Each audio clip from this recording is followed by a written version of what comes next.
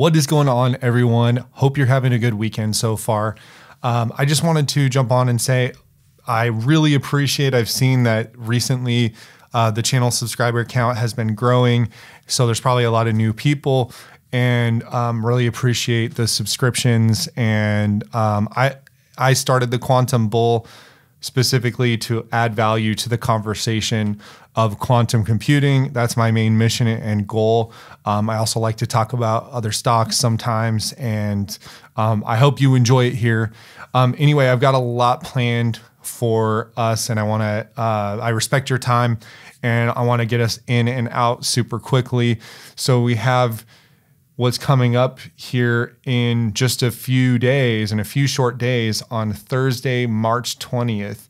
We have a massive heavyweight panel of big quantum computer companies from around the world and around the US coming together in one panel at NVIDIA GTC. So, what I've done is I've gone and looked up each of these companies. I'm going to pull up their website. We're just going to do a quick who's who run through. Um, we're going to talk about the panel itself, maybe make some predictions or how all these pieces are starting to fit together. I'm personally super excited for this panel and what's going to come out of it at NVIDIA GTC. So, without further ado, let's jump right in. So, this panel is no joke. There's heavyweights and companies from around the country, around the world that are here to talk about quantum computing, where we are, and where we're headed. So we're going to go one by one through this list. NVIDIA is one of the most valuable companies in the world, and they're putting on this conference. And Jensen Huang, NVIDIA is putting on this big AI conference, and they also have this big focus on quantum computing as well. We also know that not too long ago, on January 8th of 2025, so we're talking about nine weeks ago, Jensen Huang came out and said in an interview that quantum computing is 15 to 30 years away. And quantum stocks crashed after those comments. And since then, some of them have recovered. We saw D Wave this week actually get back to its pre crash price. So it'll be very interesting to see. So that dynamic alone, right, of Jensen going in with all these quantum computer companies, which just two short months ago were many of them were financially they were hit pretty hard. Like some of these companies went down 60% on his comments. So for them to all be at the same table on the same panel. I mean, that's some juicy Game of Thrones drama stuff going on. But you love to see it. You love to see the leadership from NVIDIA. If you want to keep your advantage in any space, especially especially as a tech company, you better know where tech is going. And I think it's a great great sign that NVIDIA has uh, created this panel in this space for quantum computing. So, next on our list is D Wave. And if you follow this channel, you've seen lots of coverage. If you're new to this channel, definitely go and watch my recent videos about D Wave because this company has come out swinging with their earnings, with some recent releases in their the journal Science. They're making waves in the quantum computer industry. And I wanted to talk about their CEO because their CEO is no stranger to making waves. So, if you all haven't seen this before, let's just take a quick look at this. So, Alan Baratz has over 25 years of experience in product development and bringing new products to market at leading technology companies. As the first president of JavaSoft at Sun Microsystems Alan oversaw the growth and adoption of the Java platform from its infancy to a robust platform supporting mission critical applications in nearly 80% of Fortune 1000 companies. He's had positions at other tech companies, but does this sound familiar? JavaSoft, Java, oh, why would you need Java? We have an internet browser. Why, why do you need that? Why do you need this? A CEO with D-Wave that is a pioneer of new technologies and what a perfect fit for D-Wave to move their mission forward. So super exciting. And also Dr. Baratz was the first person to come out on CNBC the next day and say, wait a minute, Jensen, you're wrong. You may know a lot about graphics cards and and AI chips and all the things that you make, but quantum computing is my business. And hey, you know, we're we're in commercial today. We're um, we have clients that are using quantum computers today. So super interesting story and a little bit of a contrast there for for our first two speakers on the panel. And it's not just Jensen and Alan. Look at this list. It's a long, crazy list. So let's talk about Atom Computing. Atom Computing singular focus is to build scalable quantum computing. Our team is developing large scale quantum computers to help companies and researchers achieve unprecedented computational breakthroughs. So, I'm also splitting this video up by privately and publicly held companies.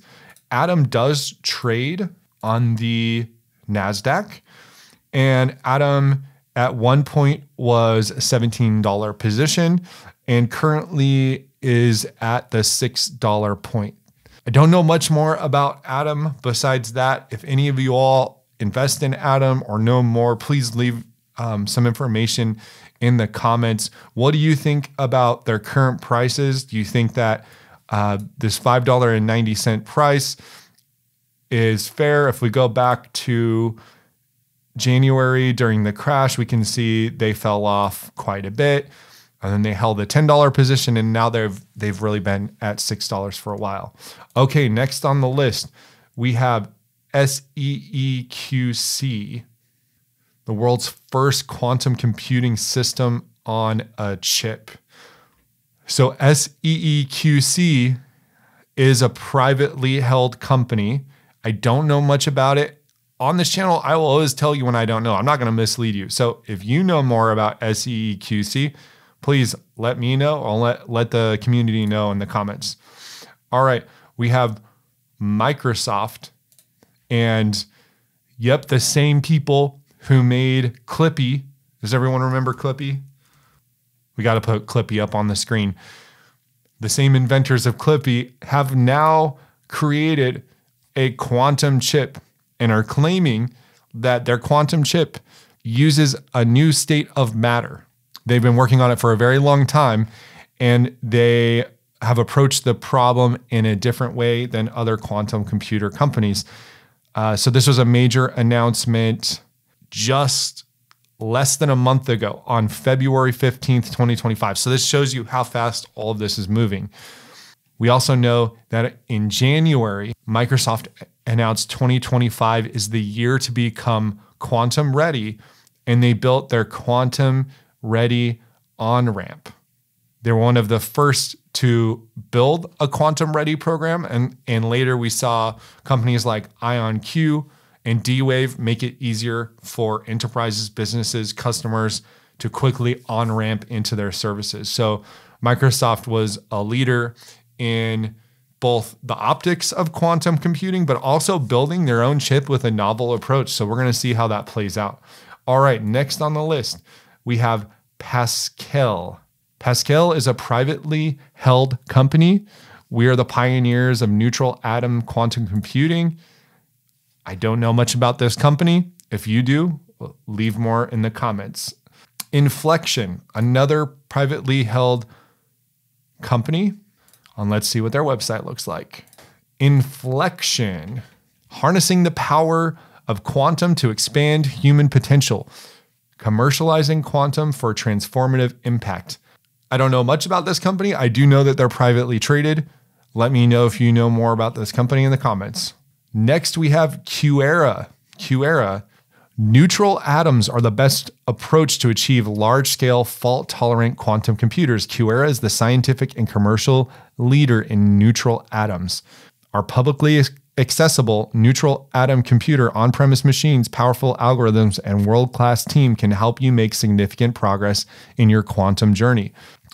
So we know that PsiQuantum and Microsoft have worked together.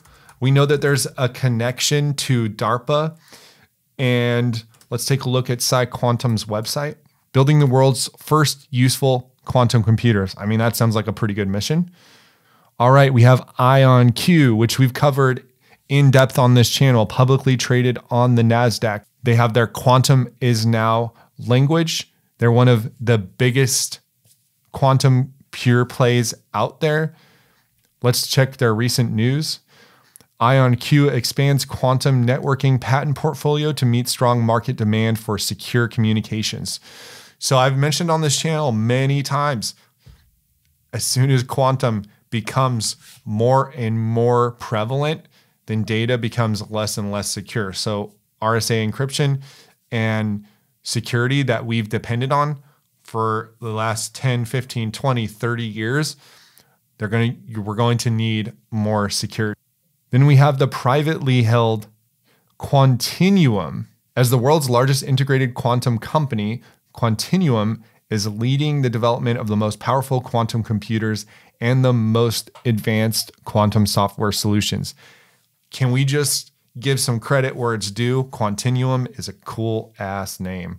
All right, on to Quantum Circuits, which is another privately held company. We invented the first dual rail qubit with built in error detection and control flow that resets the standard on quantum performance, efficiency, and scalability. Amazon Web Services. So we know that just recently, Amazon announced a new quantum chip.